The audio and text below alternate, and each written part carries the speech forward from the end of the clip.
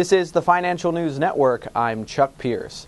Intel Corporation announced today a major breakthrough in the evolution of the transistor.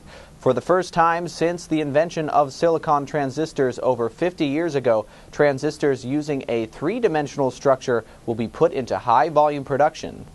Intel will introduce the revolutionary 3D transistor design called Tri-Gate, first disclosed by Intel in 2002, into high volume manufacturing at the 22 nanometer node in an Intel chip codenamed Ivy Bridge. A nanometer is one billionth of a meter.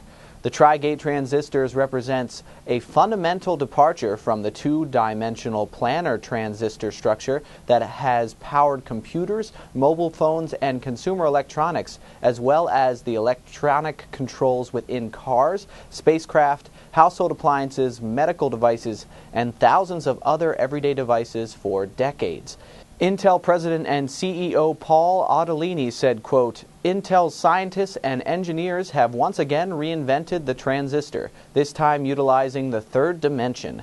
Amazing world-shaping devices will be created from this capability as we advance Moore's law into new realms.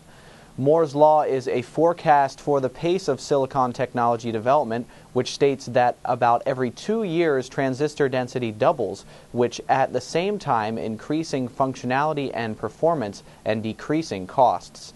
It has become the basic business model for the semiconductor industry for more than 40 years. Scientists have long realized the benefits of a 3D structure and recognized its necessity for sustaining the pace of improvement defined by Moore's Law as device dimensions become so small that physical laws become barriers to development. For more news updates, stay tuned to the Financial News Network. I'm Chuck Pierce.